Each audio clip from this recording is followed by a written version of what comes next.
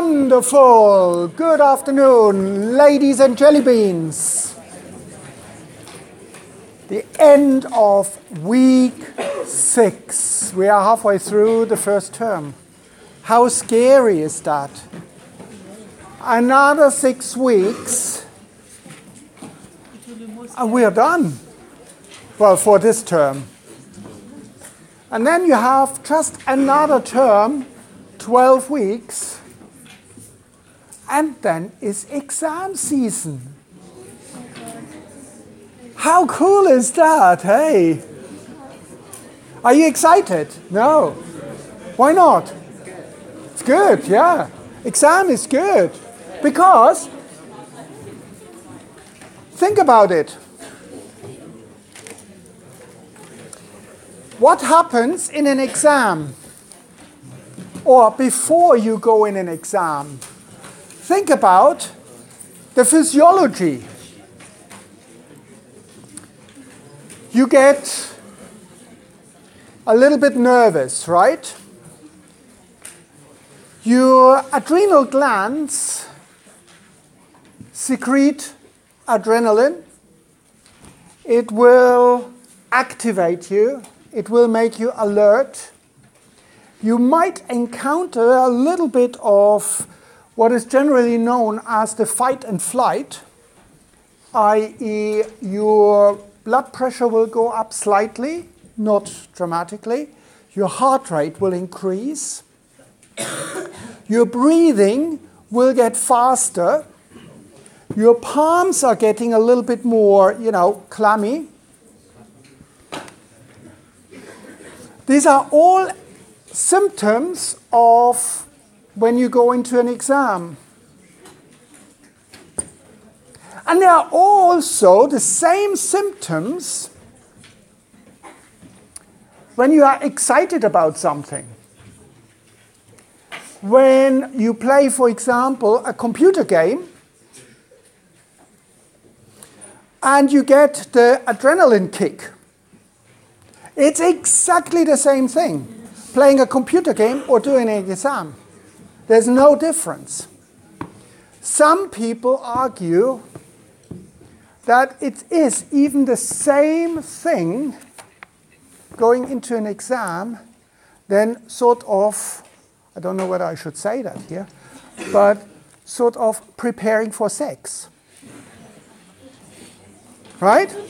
It's exactly the same. Physiologically, it is the same thing. So I don't want to put you off having sex, right? I don't want you to associate that with exams. It's not a test. But if you think about it, what your body goes through just going into an exam is nothing but excitement.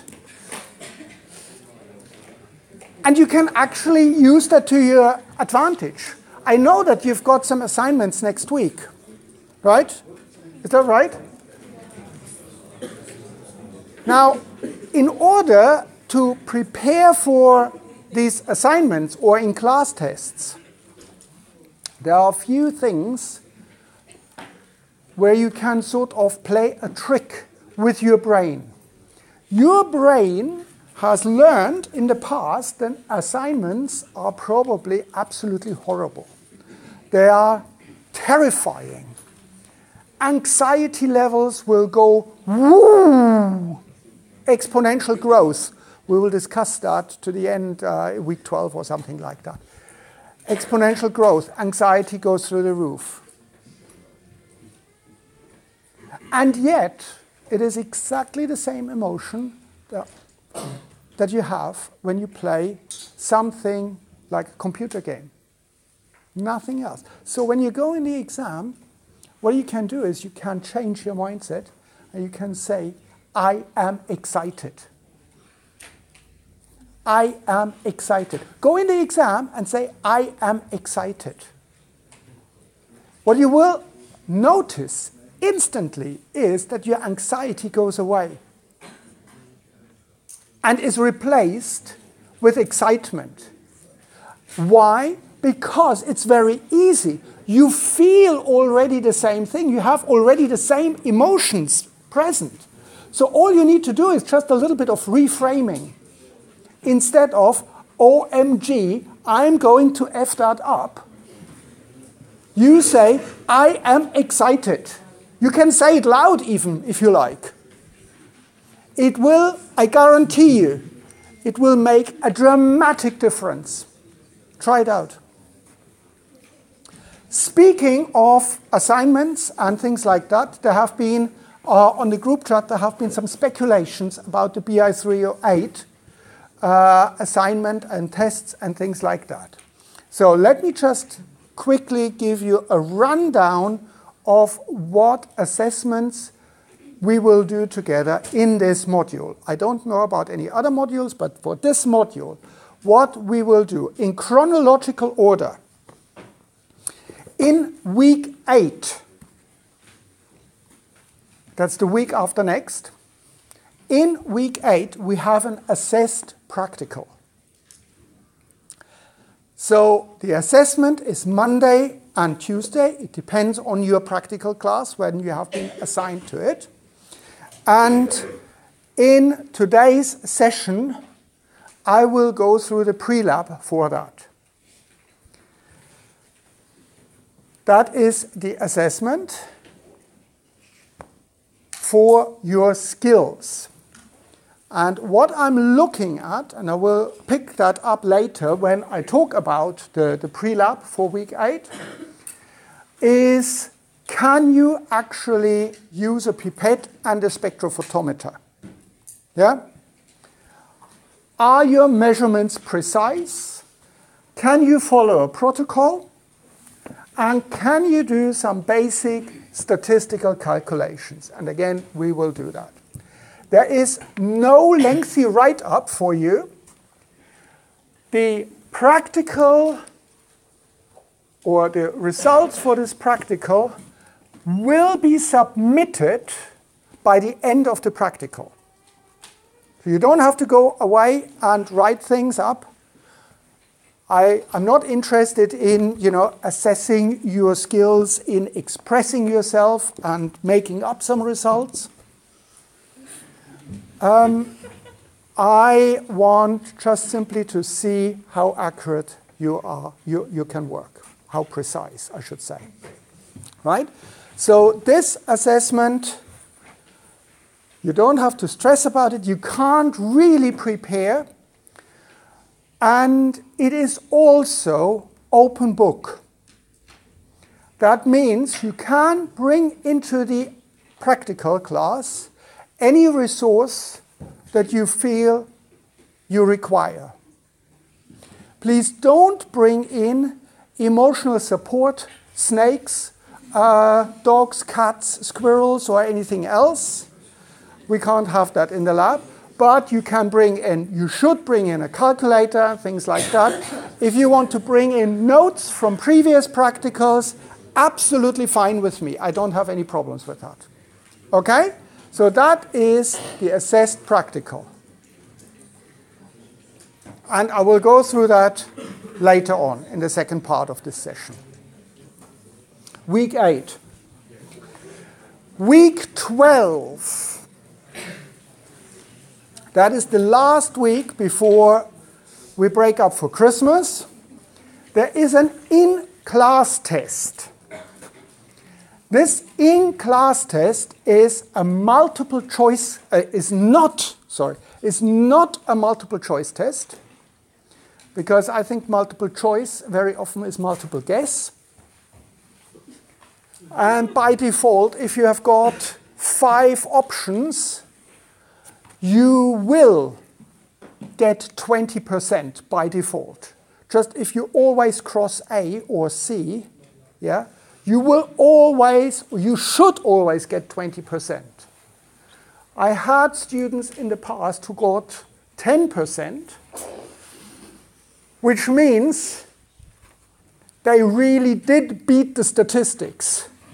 Yeah? They were dumber than the statistic predicted. Or they just simply overthought things, right? Both, both options are possible. Anyway, the test in week 12 is an in class test, it is a problem solving test. What are the problems that I'm going to give you? These are calculations that you can practice when you go to this Practice Makes Perfect website where I've sent you the link. The questions will not be totally different. You will be asked, for example, make up a solution with do, do, do, calculate the pH, something like that. Yeah? Now, the fantastic news is it is a one hour test where actually it will be around 40 minutes. and again, it is an open book test. So that means you can bring resources, you can bring in your notes, you can't bring in your big brother, you can't phone a friend. Sorry? Um, in principle, you can use your phone, but you will not be allowed to have internet connection. Yeah? And please do not do, you, do not use any voice assistance. I make these announcements in every, in, in every exam, and you can bet every single exam there is a student where you know that they, you know, do things. So in the last year's test, I said, please do not use any uh, assistance or something like that because it's not fair. And then a minute later, you could hear Siri's dulcet voice saying, Sorry, I didn't get this question. mm-hmm. Mm-hmm. Not good. So that is assessment number two, right? Now, if you do the practice question, and I've sent you the link to that, but I will send it again. If you do these questions, if you feel comfortable with them, I can almost guarantee you that you will get a fantastic mark. Okay? Last assessment, last coursework assessment will be online quizzes. I have not yet decided totally how I'm going to play them. So um, don't worry about it. Uh, I, I have said that I will probably uh, make them live on Christmas Day. so that you don't get too bored. The good thing about these online quizzes is that the deadline for submission of all these quizzes, and I don't know whether I do them through Moodle or through Google, I need to see what works better. The deadline for these online quizzes is Star Wars Day. May the 4th be with you. Yeah? So you have almost, well, four and a half months to complete these online quizzes, right? So these are the coursework assignments. These are the coursework assignments. In this module, coursework and exam count 50-50. Right? That means if you score 100% in the coursework, which I have seen people doing, so it's not totally impossible. If you score 100% in the coursework, you don't need to score anything in the exam because the pass rate is 40%. So you do the maths, 100% coursework plus zero in the exam is 100 divided by 2 gives you 50% total module mark. And you need 40% overall, because people ask me, 40% overall to pass a module. Right? The exam, just, just to let you know quickly, the exam is a two-hour exam. It comprises 30 multiple choice questions in section A. And in section B, it is one problem question. Okay? In previous years, you had the choice between uh, one out of three we've decided that this is not such a good idea because we will get students who say, oh, in the final year, I've never done any statistics. Yeah, you have done statistics. Yeah, but I've never been tested on statistics. Well, because you avoided the questions. So it's not my fault, technically. Um, so this year, it is one question, one problem question that you have to do. And for that, you have two hours. Right? Any questions about that? Are you, are you clear about the assessment pattern? The assessed practical actually counts for 20% of the coursework. The in-class test counts for 15, one five, and the online quizzes, and there will be 15 quizzes, will also count for a total of 15%. So we've got 20, 15, 15. That gives you the 50% coursework and then the 50% of the exam. Oh, everything clear? Yeah? Fantastic. So let's start business. So on Monday and Tuesday, we are doing the non-assessed pH and buffers practical. In terms of health and safety, yes, you have to wear gloves. Yes, you have to wear specs, safety specs, because you are dealing with some rather unpleasant chemicals. And I honestly do not want you guys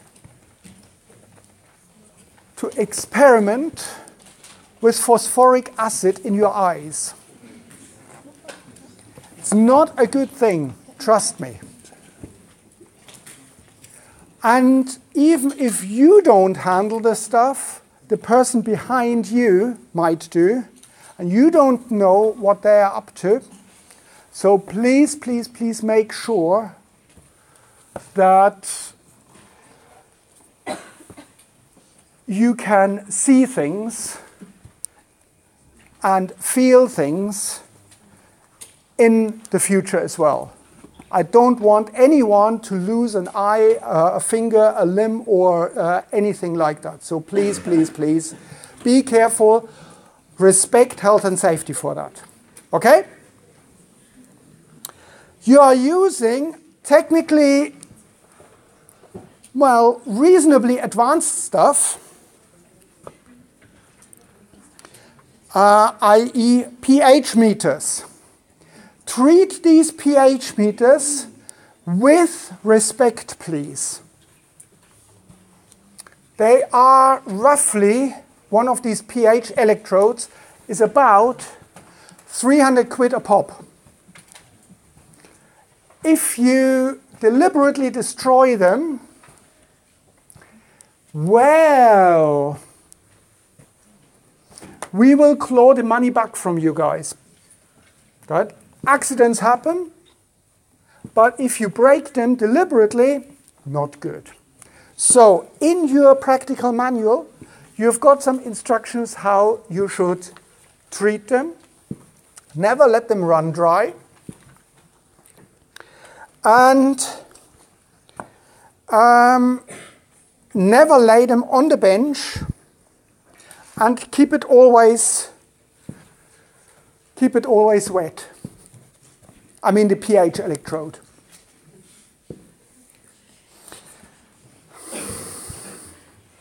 And keep it in storage.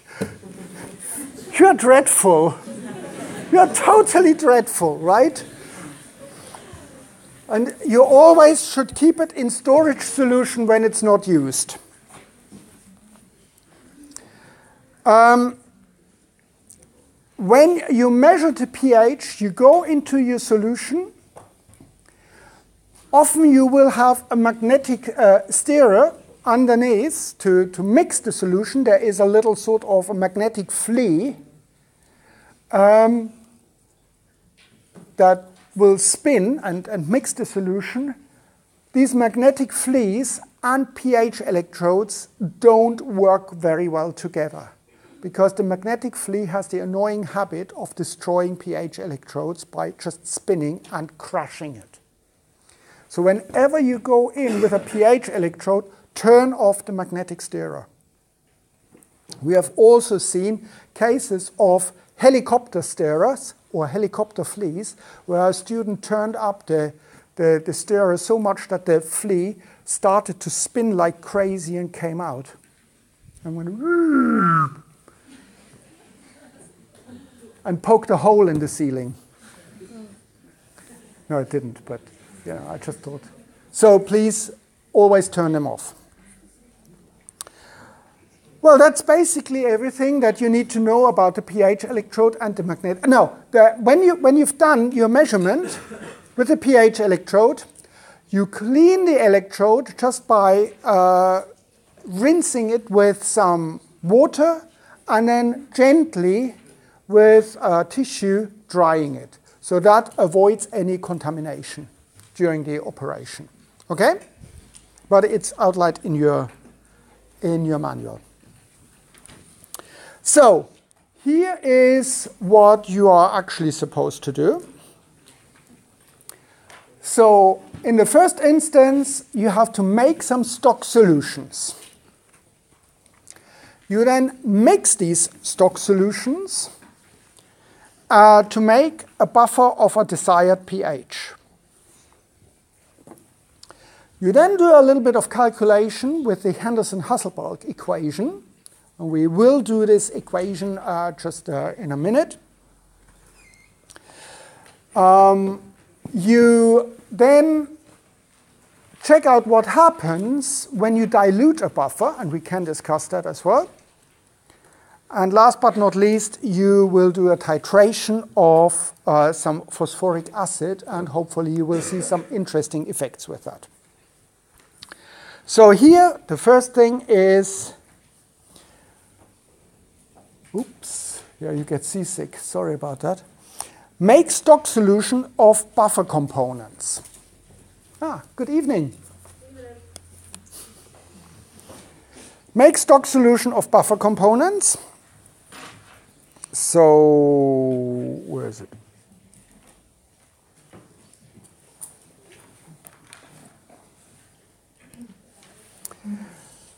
So here you are basically asked to make 50 milliliter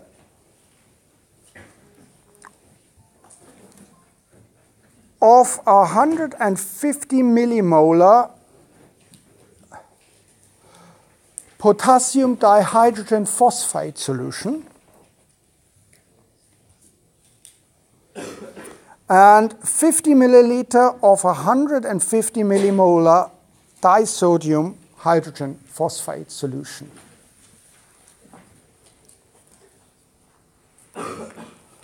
So here are the two compounds. Which one is the acid? What do you reckon? Is it the potassium or is it the sodium? Which one is the acid?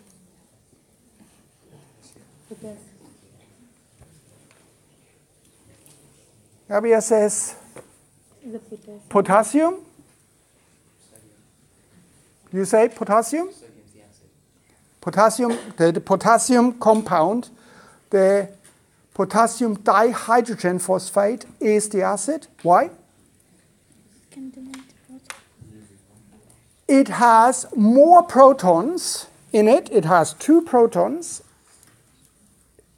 here, whereas the sodium salt only has one proton in it. Yeah? So you basically have, where do I put that? H2PO4, ah, let's go to a different. So we have H2PO4 minus gives H PO4 2 minus plus proton. So therefore, this here was with the potassium salt, and this one here was with the two sodiums. So this one here is the acid. Okay? And the task is make up 50 milliliter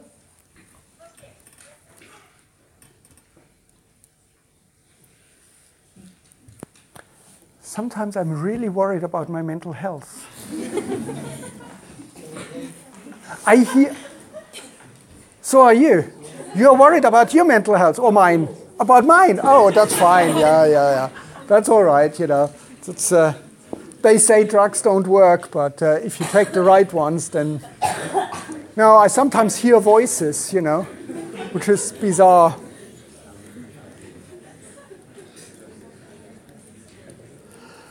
So your task is to make up 50 milliliter of 150 millimolar solution of both compounds.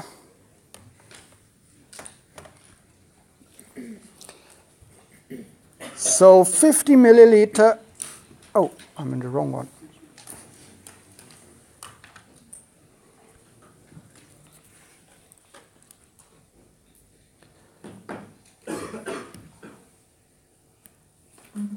So 50 milliliter of um, 150 millimolar of this compound here, and the molecular weight is 136.09 it's here abbreviated as MR. actually I don't like that. It should read molecular mass. So you can insert here gram per mole.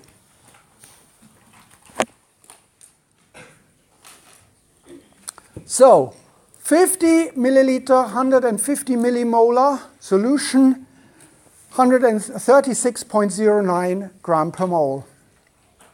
Over to you. Do a little bit of calculation. How much of this sodium dihydrogen phosphate do you need? Get your calculator out, do it with dimensional analysis, do quickly the calculation.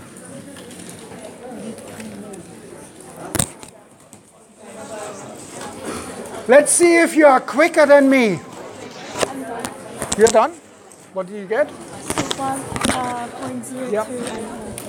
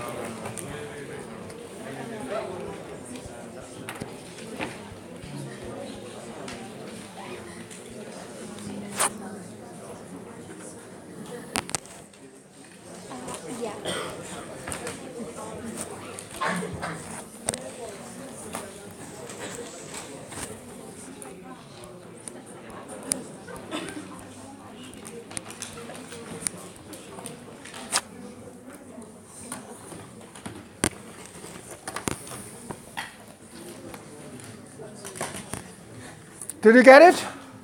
1.02 grams of that potassium salt. Okay?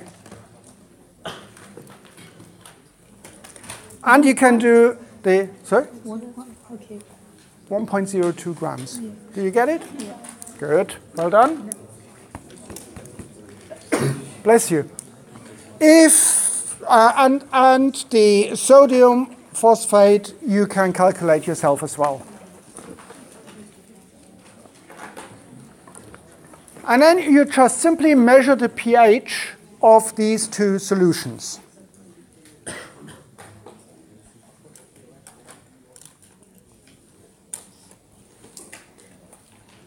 Okay? Happy with that? In the next step, take 25 milliliter of the potassium salt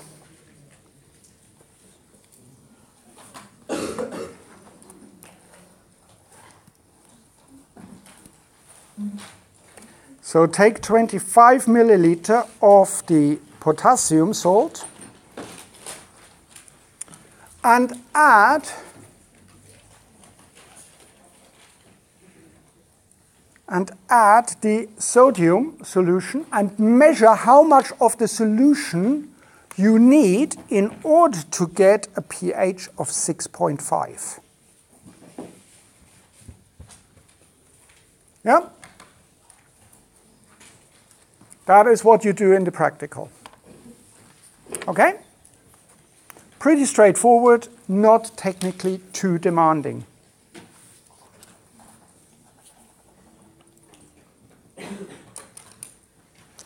So here you will then say how much volume of the 150 millimolar uh, sodium solution uh, did you actually add?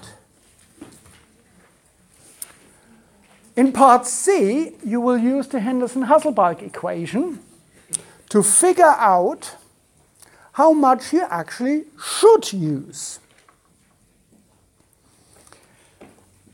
And we can try and quickly do that together.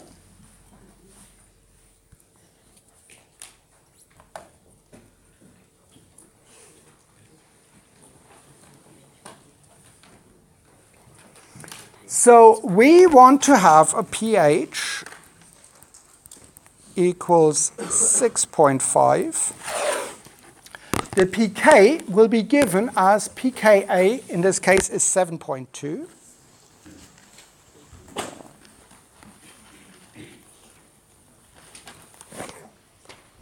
And what we want to know is the ratio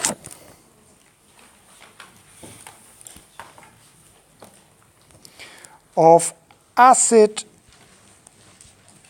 to base. You got it?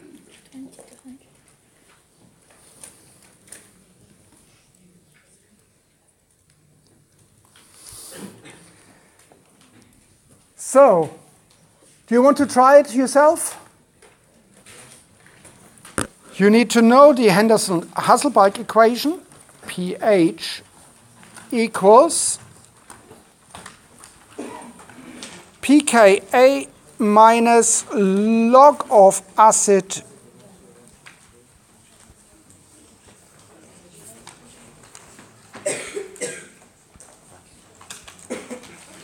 over base. Or you can do it plus base over acid. It's exactly the same thing, same difference.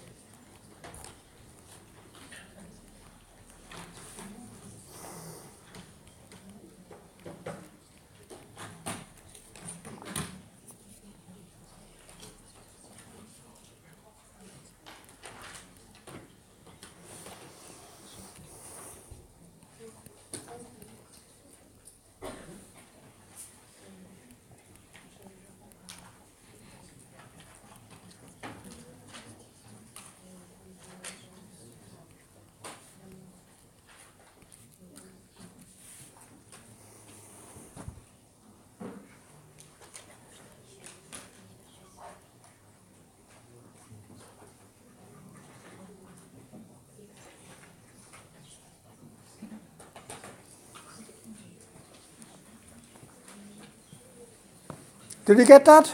Yep. yep. No problems? No at all. Shows you how smart you are and what a good teacher I am. okay, so you get a ratio of 100 to 20. 100 parts acid and 20 parts base. Yeah? Did you get that?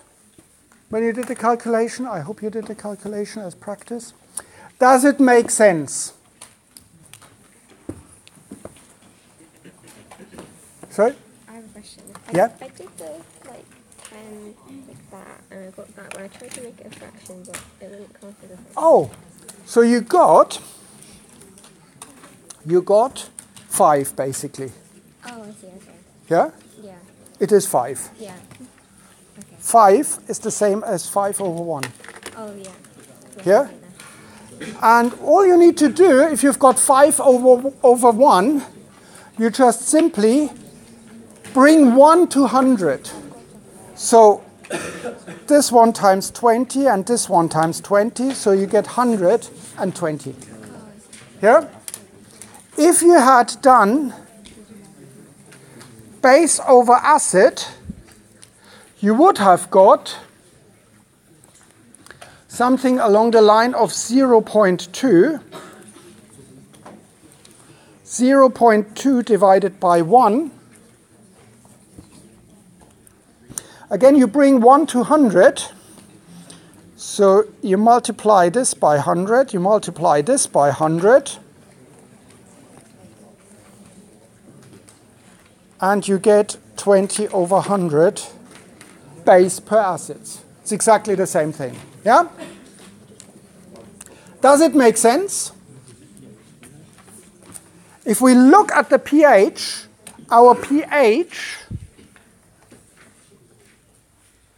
of 6.5 is lower than the pKa. This means we need more acid. Remember, if the pH is the same as the pKa, then we need exactly the same acid base. If we need if the pH is lower, we need more acid. If the pH is higher, we need more base. Yeah? So that was very easy again. So it would be a 1 and 5 uh, ratio. Make sense? Brilliant. Fantastic. In the next step that you do,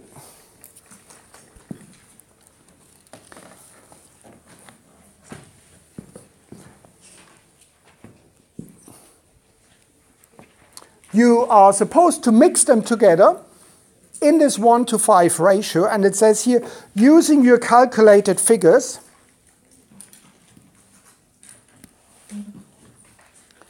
using your calculated figure of 1 and 5, put them together in a 1 and 5, so you could use 5 milliliter of the acid and 1 milliliter of base. Or you can use 10, 2 milliliters, and measure the pH.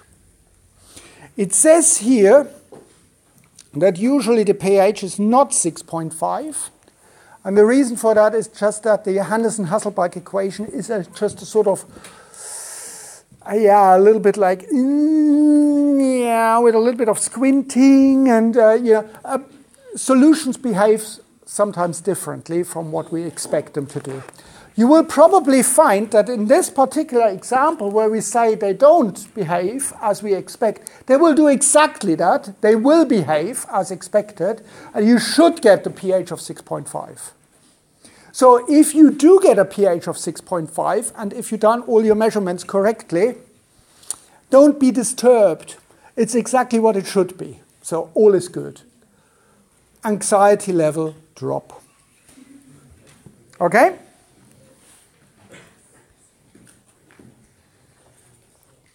Now, in the next step, you are supposed to dilute your solutions.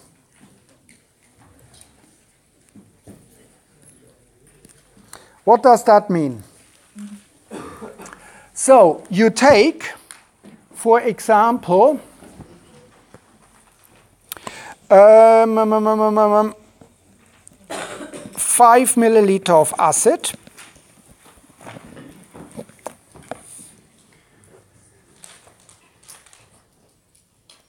No, actually, what we do.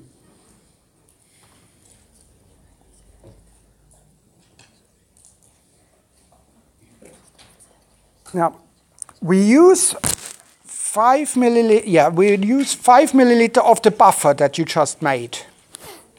Yeah? And we add 45 milliliters of water. So now we have the 5 milliliter in a total volume of 50. Total volume is 50.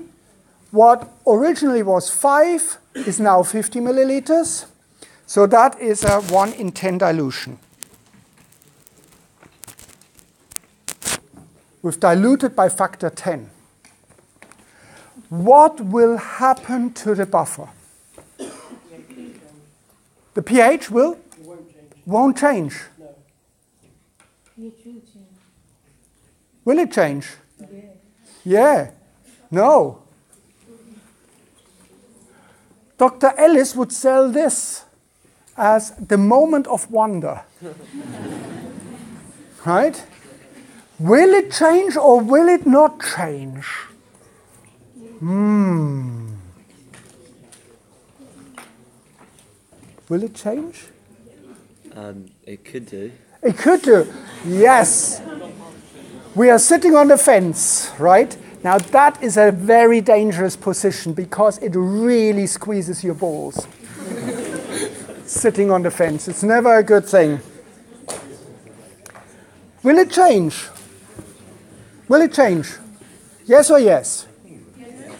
Yes. Will it change?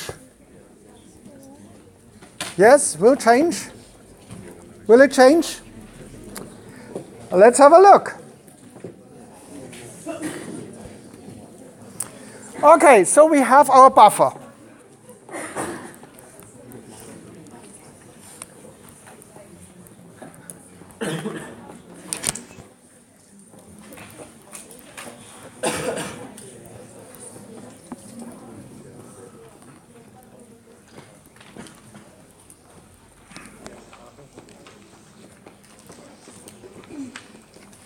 Let me write it like that.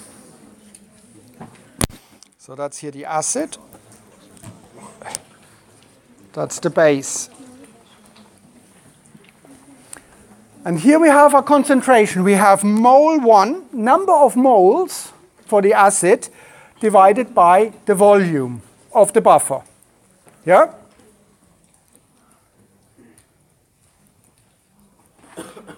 We have mole 2 of the base divided by the volume. Now, what happens if we leave the number of moles for both acid and base exactly the same, but we change the volume, we multiply the volume by 10 in both cases? What will happen?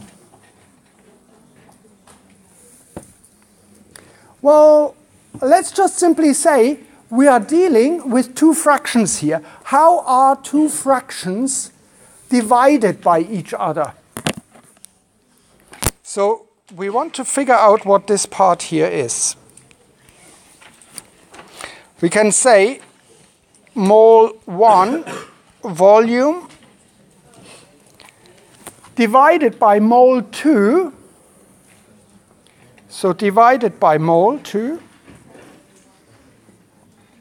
and that is exactly the same as multiplying the vol by mole 1, mole 2.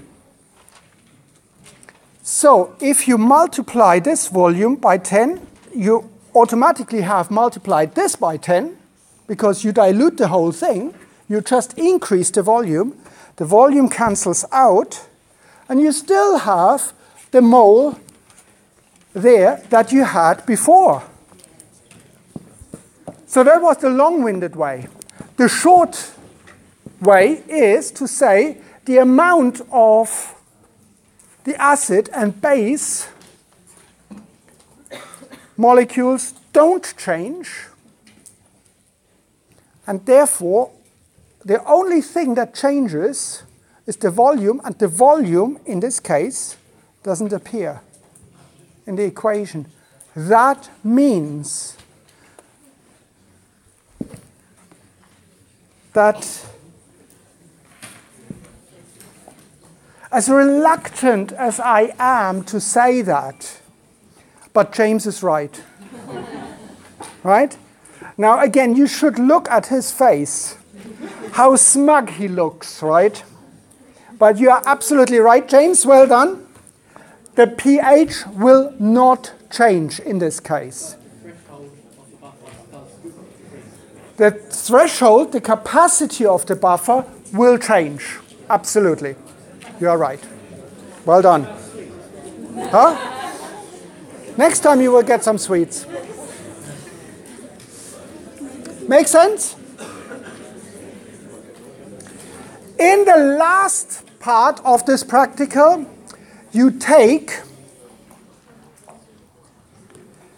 H3PO4 phosphoric acid. Now, people say phosphoric acid is actually really, really, really, really strong acid. That's what people say. Why do they say that? Oh, look at that. It can produce three protons. So you can get 3H plus plus the phosphate, 3 minus. Because it produces three protons, it must be terribly strong. Well, actually, it turns out that phosphoric acid isn't such a strong acid. It has a pKa of, for the first step,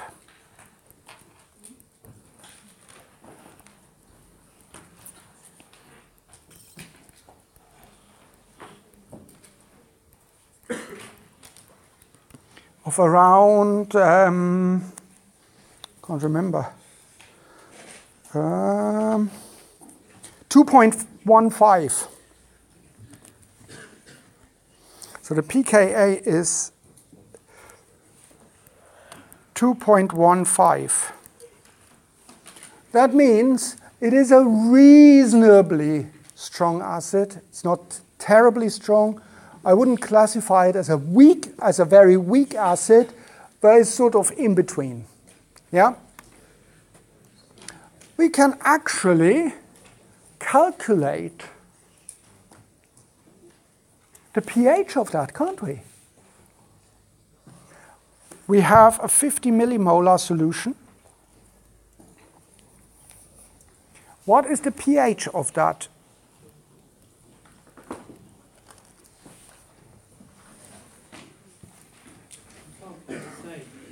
Sorry? We can't really say at this point because we don't know the other pKa's of the second and third. We can ignore the other pKa's. We can ignore them. Yes, because they are a factor of they are P, pKa value of five apart from it. That means hundred thousand factor. That's quite a lot. Mm, Pretty much. I agree. So, how would we calculate that? We know we have a pKa, we have a concentration, so therefore, what we can do is we can use the equation for a weak acid. pH is equal to 1 half of pKa minus log of the acid So we have 1 half of 2.15 minus log, and we need the acid in molar, so that would be 50 times 10 to the minus 3. That's the milli.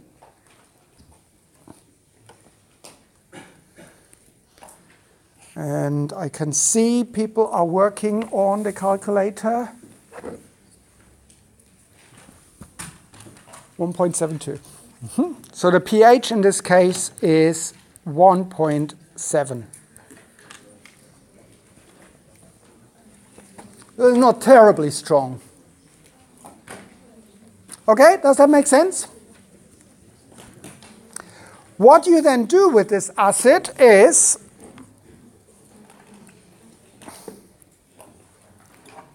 You keep it in your beaker and you add sodium hydroxide to it. And you neutralize the acid.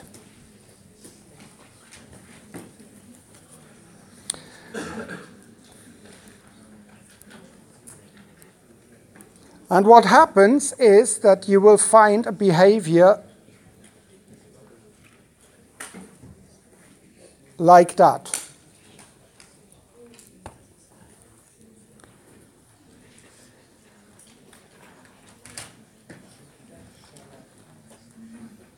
You will find this here. This is when you have, this point is also called the half equivalence point.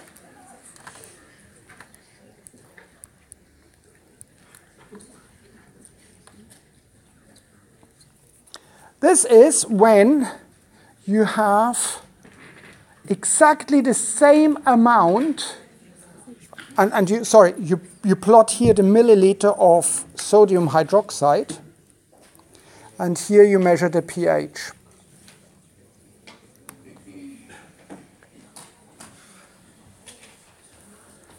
So at the half equivalence point, you find that you have the same concentration of the acid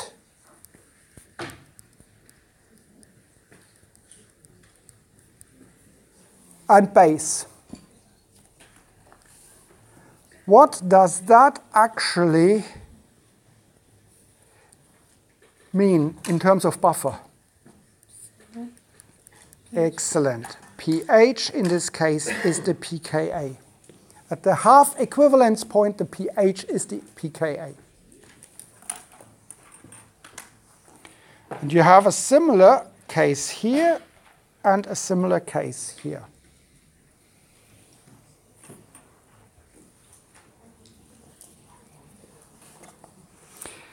This point here and this point here, they also have a name.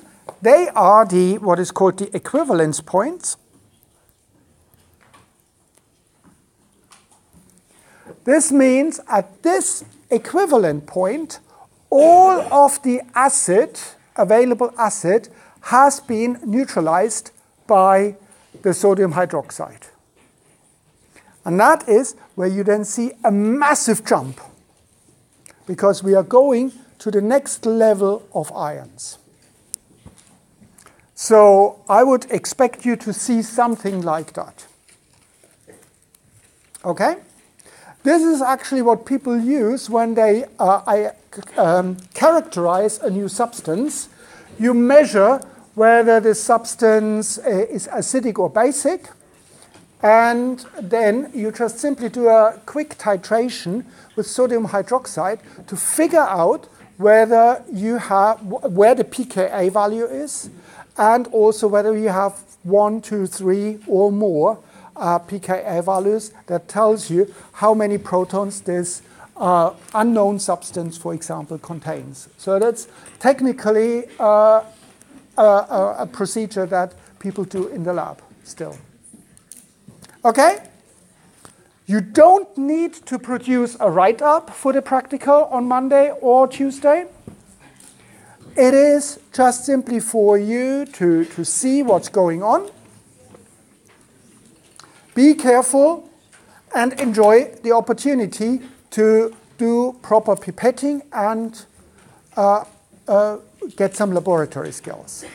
We have a short break, five, six minutes. And then I tell you what's going to happen in the assessed practical in week eight, okay?